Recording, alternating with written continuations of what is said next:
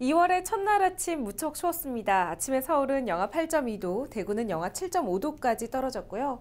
찬바람이 불어 실제로 느껴지는 온도는 그보다 더 낮았는데요. 이 추위 오늘 낮부터 조금 풀립니다. 서울 낮 최고 기온 2도, 대구는 7도까지 기온이 오르면서 평년 수준으로 올라서겠습니다.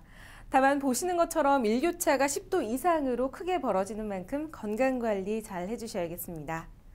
지금 하늘 모습을 보시면 전국이 맑은 하늘 드러나 있습니다. 오늘 우리나라는 중국 중부지방에 위치한 고기압의 영향으로 전국이 대체로 맑고요. 미세먼지 농도도 전 지역이 보통 수준으로 공기도 깨끗한데요. 다만 강원도 영서 지역은 늦은 오후부터 일시적으로 나쁨 수준까지 오르겠습니다. 오늘은 낮 동안 기온이 올라 추위는 조금 누그러집니다. 낮 최고 기온 서울 2도, 강릉 5도, 대구 7도, 부산은 8도까지 기온이 오르겠습니다. 바다의 물결은 전해상에서 0.5에서 2.5m로 일겠습니다. 다음은 내일과 모레의 날씨입니다.